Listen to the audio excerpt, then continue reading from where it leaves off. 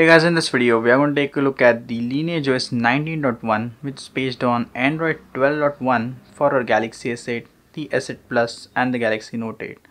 So without wasting more time, let's start. So guys, this is the Lineage OS 19.1 which is based on Android 12.1 and there is no major difference between Android 12 and 12.1. The 12.1 version brings support for foldable phones. So yeah, that's support for the future and you can see Android version 12 and we also get the March 5 security patch. Now guys let's take a look at the Android 12 settings UI of the Lineage OS and this is how it looks like clean Android and obviously the Lineage OS looks exactly like the stock one. Also let's go into the battery. Now this UI is so sleek in Android 12 like in Android 11 we had that.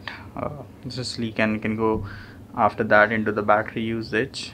Uh, sorry and here we have this is exactly like the older versions.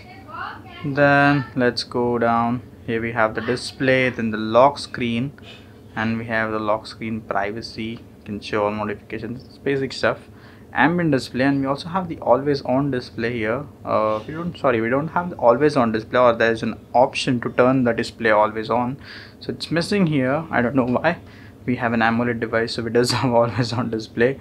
And here we have some basic stuff live display full screen apps tap to sleep and wake on plug. Let's see if double tap to wake has been enabled or not. Uh, double tap to wake is not present so it's a bit of a uh, down thing for me.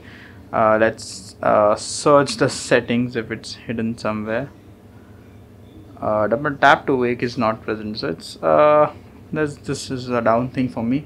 Let's move ahead. Let's move to the wallpaper and sell. This is the android 12 uh, customization. Customize your wallpapers and your uh, icons and all that. You can see we have these themed icons which will make your icons look like a theme. And uh, it's not changing in here so I think it's an issue with uh, lineage OS uh, it's not changing. It just themes the icons or maybe these icons are not supported at all. So yeah maybe you can try with some google apps and see how it goes. Okay let's not lose uh, the settings. Let's go again. It's no issue. Then yeah that's it for here. Then we have some basic lineage OS options to customize your device in the buttons which are being uh, getting from the older versions too. The status bar options just some basic stuff and gestures. And in gestures we have swipe fingerprint for notifications. Let's see if it works. Oh yes it totally works. So yeah it's a bit hard for me for this case but it works fine. So yeah we have the system navigation your basic stuff. Yeah. And yep that's it. Press and hold power button and all that stuff.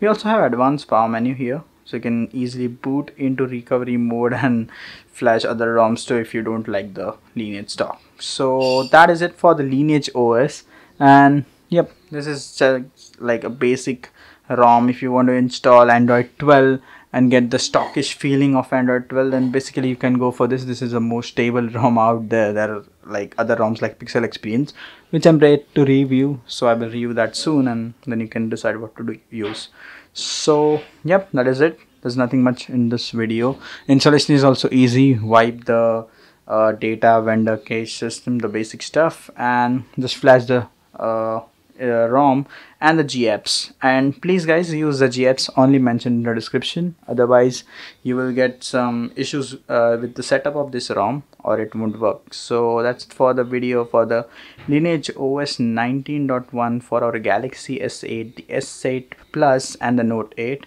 and I hope you guys are doing well. And COVID is also going down so that's really nice news. So yeah that's it. We'll meet you in the next video with the galaxy s8 or other devices. And bye bye for now